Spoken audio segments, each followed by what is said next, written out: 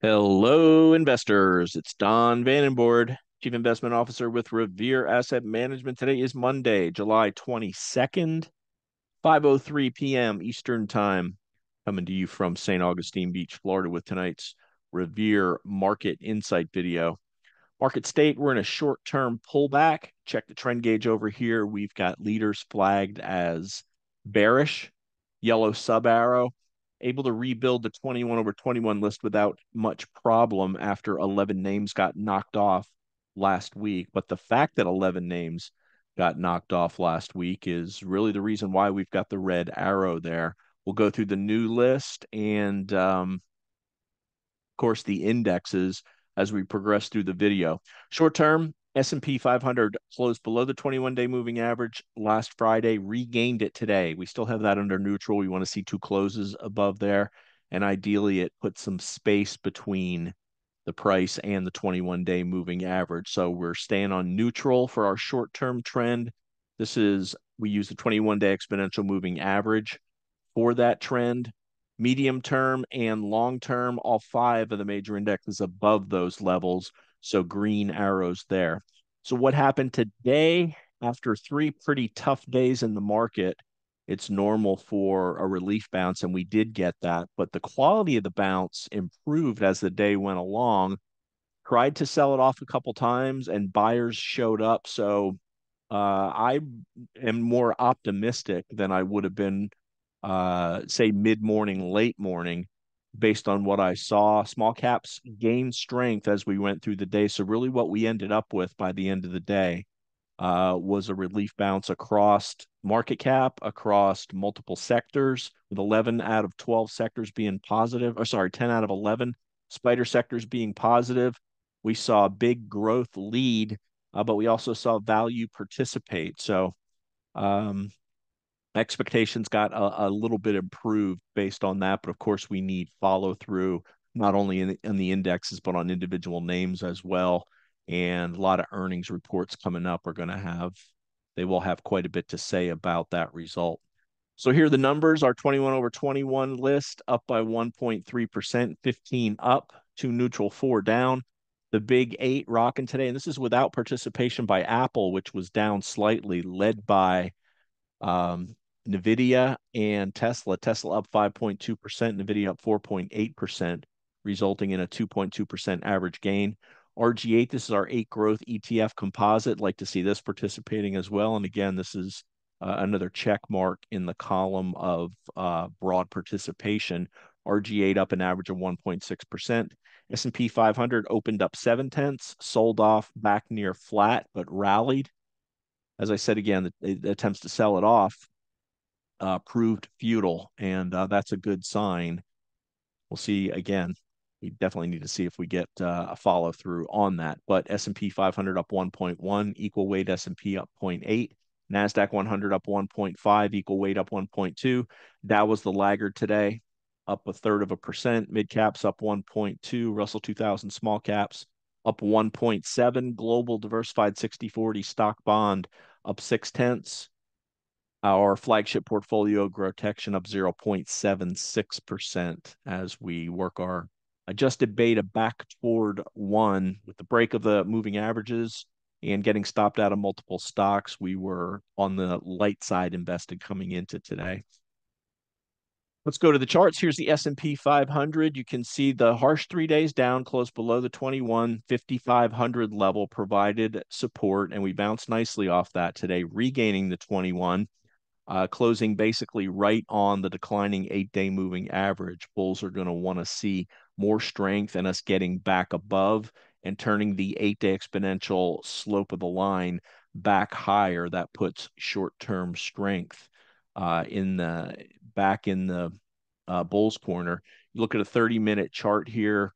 Well, a 60 minute shows it a little bit better. Uh, this 5,500 level uh, that was defended on Friday, not even touched today with the gap up. Uh, that's the key level to the downside. So decent risk reward uh, against that 5,500 on the S&P 500. Nasdaq 100 uh, gapped up, closed near the high of the range, but still below the declining 21 and eight day moving average. Uh, rejected there, last Thursday, made a lower low Friday. Uh, decent day. Um, let's take a look at the 60 minute chart there. And the level that jumps out is uh, right around there, 473 ish, close to uh, whatever the low was, uh, 474. That was the low on Friday. You can see that level also held back in uh, late June and it was uh, a spot where we kicked off the rally back in early June. Uh, so that's a, the key level on the downside to watch.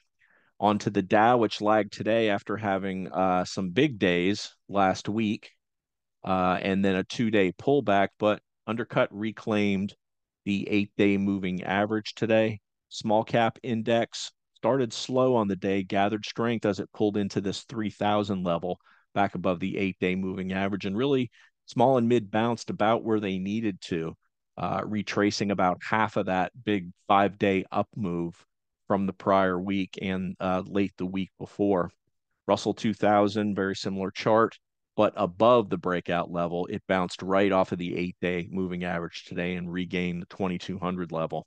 Let's look at equal weight indexes quickly. RSP is the S&P 500 equal weight undercut but reclaimed the eight back to the top of that base that it broke out of before the uh, pullback. And QQEW equal weighted NASDAQ 100 closing right back uh, slightly above the 21 day moving average. So reclaiming it before uh, the market cap weighting NASDAQ 100. Onto the VIX. Big down day on the VIX today after a big week. That's a false uh, move spike there uh, from Friday, but down 9.8%, back below that 16 and 15 level. It's got a 14 handle, 1491.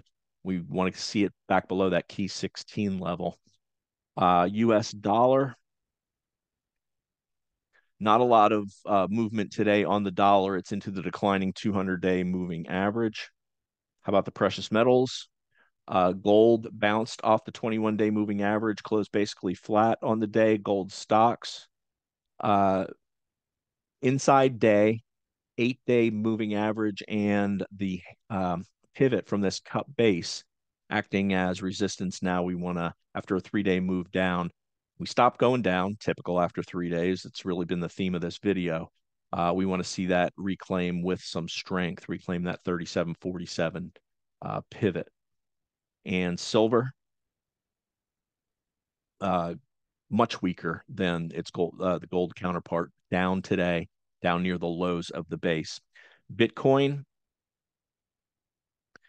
uh, after five tight days, right around the 50 day moving average, moved out on Friday, higher high today. So nothing but good stuff here. Big Bitcoin conference later in the week uh, where Trump will be speaking. He's a big Bitcoin uh, proponent. Uh, on to bonds. BND, the broad bond index, down slightly, tight range on the bonds today, and really a tight range for the last week and a half. TLT, the long bond, uh, a bit of a wider range, down a third of a percent. Uh, hold the 50 day moving average. Flip to the yields. If the price is down, the yields up slightly, up six tenths. And the TNX, not a lot of movement, but up slightly, up a half of a percent. So that's the tale of the tape, or I'm sorry, that is our interasset correlation chart section. Let's go to the tale of the tape. Uh, Biden dropped out of the presidential race and endorsed Harris. That's the big headline from over the weekend. Day count up one across the board after three days down. Now the moving averages basically flat with a flat um, slope for the eight day moving average. 21 day close back above. The slope is basically flat there as well. So we need uh, some more bullishness uh, to turn those back up. Expectations neutral with the mixed tape against the 21 S&P above Nasdaq 100 still below. Um, sectors 10 out of 11 sectors positive led by semiconductors and tech to the to the downside, oils and cybersecurity as uh, CrowdStrike, after the fiasco last week, continues to get taken apart. Uh, let me fill these in here. RG8 was up 1.62% today. and the 60 40 was up 0.59%. So in house for the portfolio, we bought Bitcoin, IBIT, the ETF, on that uh, move higher after uh, breaking through the, the tight range last Friday. And with the reclaim of the 21 day moving average, we got our um, index exposure back to where our guidelines say it should be by rebuying SSO. Still below 1.0 on the adjusted beta. Uh, if we take the hedges off, we'll be there tomorrow. We'll talk about those hedges in a minute when we look at the charts. Uh, but uh, 0.93. So coming into today, we were watching the S&P versus the 21, able to regain it. The Nasdaq 100 against the 21, not able to regain it. Nvidia versus its recent range, and it was able to break above, but not get back above the 21-day moving average. So that's something that the bulls want to see. Bottom line on the day: re relief bounce with broad participation led by big cap growth. Let's get to the charts. And that net we'll start off with those two with the two hedges that we have in the portfolio. Nasdaq 100. Uh, that's in place until we break back above the declining 21 day moving average on the Nasdaq 100. We're down slightly on it now. Uh, we put it on on the fail into the 21 last Thursday. And uh, we'll start off with NVIDIA and the charts and see how uh, it broke nicely above that uh, three day range that we were in uh, and closed near the highs of the day. So this was a key level because right below it is the 50 day slash 10 week moving average. Got up to that level, pulled back, and uh, then broke out late in the day. This is the good news. We, we failed and then we tried it again, got above it, pulled back, and held it. So this 123 level, pretty critical. We really want to get up to 125 to fill this gap and that'll take NVIDIA back above the 21 day moving average decisively. Right now, it's basically right on it. Um,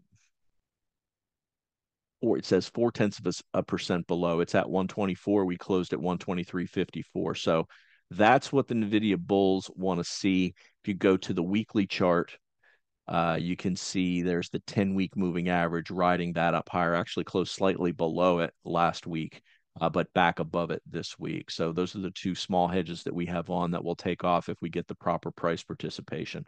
All right, so let's go to uh, the, the new 21 over 21 list, and we will show it.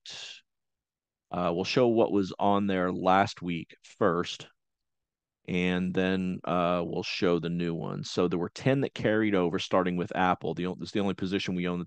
Uh, we own two individual names still, Apple and Nvidia, and a bunch of ETFs, broad ETFs.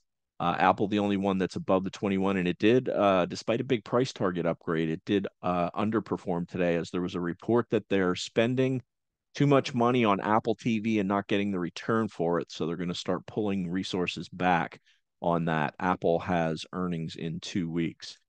All other carryovers from last week Palantir, height at the top of its base, looking pretty good. Tesla, uh, we got shaken out on the move down on Friday. It regained it today. They've got earnings tomorrow. We'll now wait for the earnings reaction uh, to see if we take a position or not. GDX holding above the 21 needs to get back above the declining eight day moving average. Corning uh, still hanging tough after its big move up when they upped their guidance. Uh, Ark K, uh, two day pullback, looking still looking uh, pretty good, and so are the top holdings in there. Coin higher high today. Weatherford oil stocks. This is consolidating nicely right above the top of the cup and handle within that pivot plus five percent. Does have earnings in two days, however. Note the relative strength line. Very nice over the last six weeks. XBI Biotech regaining some strength after the three day pullback. ITB uh, barely pulled back, only a one day pullback for that after making new highs on Thursday and then reversing, but uh, excellent relative strength over the last two weeks. And this started with uh, the Thursday move with the CPI report two Thursdays ago. So the new ones for this week Axon.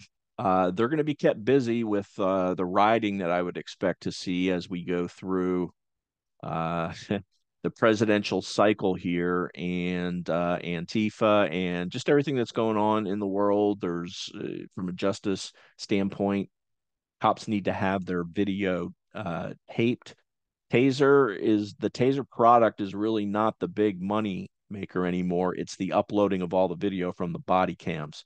And um, nice setup here.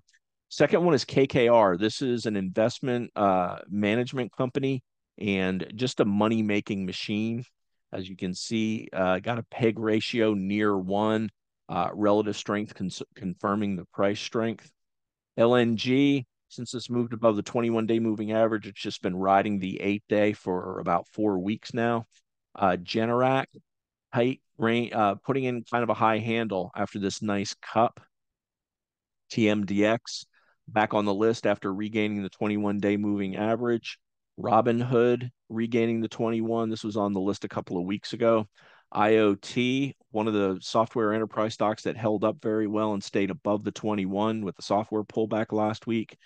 Lantheus, they got a favorable um, reimbursement uh, reimbursement news about two weeks ago. It had two massive up days and has been consolidating on lighter volume into the eight day moving average. Uh, Square uh, pullback and tightening up right around uh, the three moving averages there the 8, the 50, the 200, and the 21 four moving averages. Uh, intuitive Surgical, great earnings reaction on Friday, higher high today, and Bitcoin adding it back to the portfolio with the breakout on Friday and the higher high today. today. so that's the 21 over 21 list for this week. And with that, we will wrap it up for Monday, July 22nd. If you'd like to reach out to us, the email is donna at revereasset.com. The phone's 855 Real Wealth. That's 855 732 5932 email my partner Dan Stewart if you're interested in becoming a client. Reminder our flagship portfolio Grotection is designed with a dual purpose grow assets during uptrends, protect them during pullbacks, protect them even more during downtrends. We lighten up as we break moving averages, we reclaim them, we'll reinstate the longs. Uh, sometimes there's some uh, whipsawing that takes place as this happens. That's a cost of doing business. But the good trend pays for them all. If we get ridiculously choppy, we just pull back and wait for things to clear. And that's kind of where we are now with only two individual tickers, uh, individual stocks owned, the rest in uh, ETFs as we wait for the market to decide what if the winners will be going through the summer or will we just pull back due to the uh, seasonal weakness? As I mentioned before, earnings will have a lot to say about that. And with that, I'll wrap it up for Monday, July 22nd. This is Don Vandenbord with Revere Asset Management telling it like it is. Thanks for listening and have a great day.